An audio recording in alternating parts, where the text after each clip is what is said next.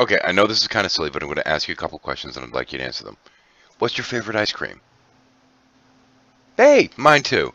Okay, what's your favorite color? Hey, mine too. Okay, okay, next question. What's your favorite number? Oh, that's my favorite number too. Isn't that fantastic?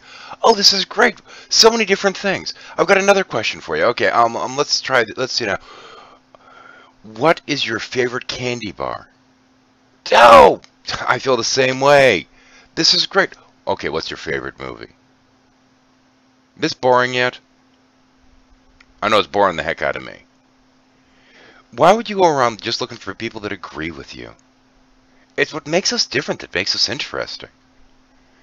And this extends to theology, too. It's those differences that make us who we are and makes us worth knowing. If I held the same opinions as you, how interesting a conversation could we really have?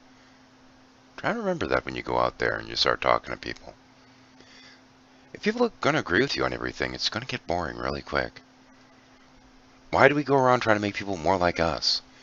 Instead of trying to figure out who they are and seeing if they're interesting. Finding out their whats and whys. I think we should do more of that. It's okay if you agree with me now.